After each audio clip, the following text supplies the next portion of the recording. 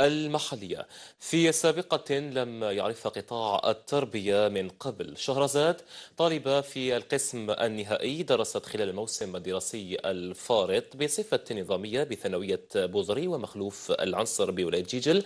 قبل أن تشارك كبقية زملائها في امتحان شهادة البكالوريا شعبة أداب وفلسفة غير أن شهرزاد التي تنتمي لأسرة متواضعة ويتيمة الأب وجدت نفسها ضمن قائمة المترشحين الغائبين بالرغم من حضورها الدائم خلال فترة الامتحانات.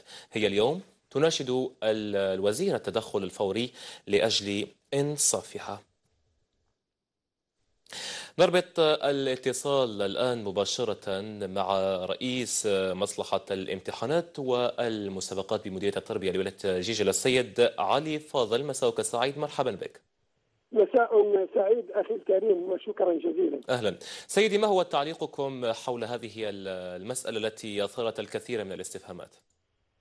سيدي الكريم كما تعلمون أنه في بداية الأمر أننا تلقينا شكوى من طرف مدير المؤسسة مباشرة بعد إعلان النتائج نتائج امتحان شهادة البكالوريا.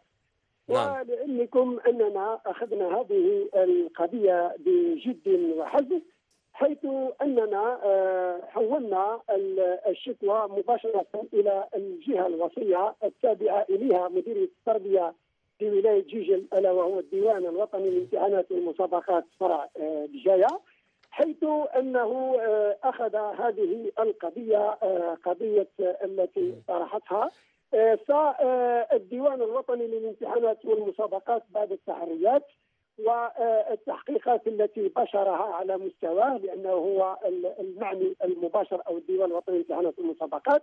وحسب المعلومات التي وصلتنا فإن القضية هذه القضية في طريق التسويه وخلال هذه الأيام القليلة القادمة. نتمنى ذلك شكرا جزيلا لك سيد علي فضل رئيس مصلحة الامتحانات